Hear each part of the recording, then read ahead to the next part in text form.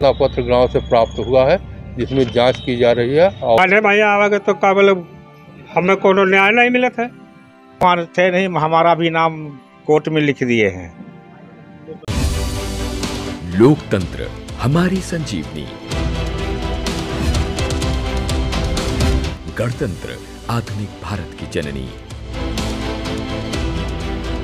लोकतंत्र जिसमें बस्ती बढ़ती जन जन की आशा।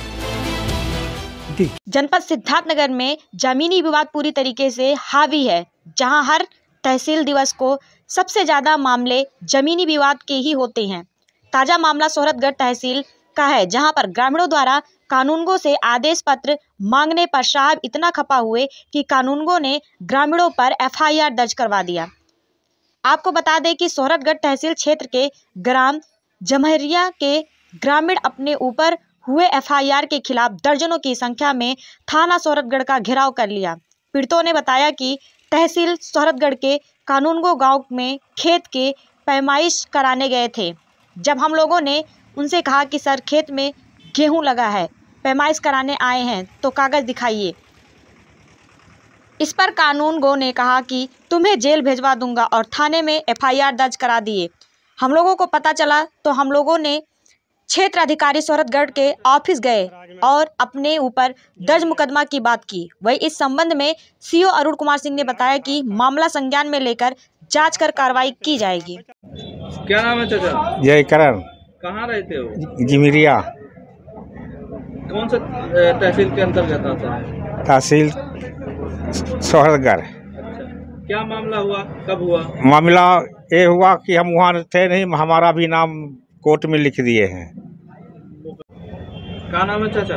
राजमल कहाँ रहते हैं? जमेरिया। क्या मामला हुआ था? भैया आप घास काटत रहे। अच्छा। तो घास काटते रहे तो ये लोग नापे चला गए। अच्छा कौन काला काला गो। अच्छा। ये नापे गए। तो फ़सल लाग है तो फ़सल में नापत हैं। तो हम कहें कि भैया ये का करे तो फ़सल काहे तुरत हो। खेत हमार।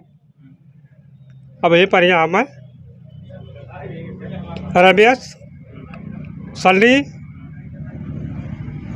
गबोधर ये कुल हमें मारे अच्छा तो यही पर हम एक थप्पड़ मार दिन के बाद भाग लिया हम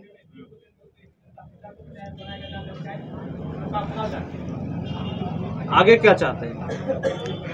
आगे थाने में आवागे तो का बोले हमें कोनो न्याय नहीं मिलत है आप लोगों को मुकदमा लिख दिया गया है? ना लिखा है आपके साहब। ऊपर हो गया मुकदमा? हाँ लिख हाँ हो ही गया सर हाँ, हमने लिखा हुआ है। नहीं मुकदमा लिखा गया अभी? अभी नहीं तो क्या चाहते मुकदमा लिख जाए। नहीं लिखा जाए तब क्या करें? तो आगे तक जाएँगे। हाँ।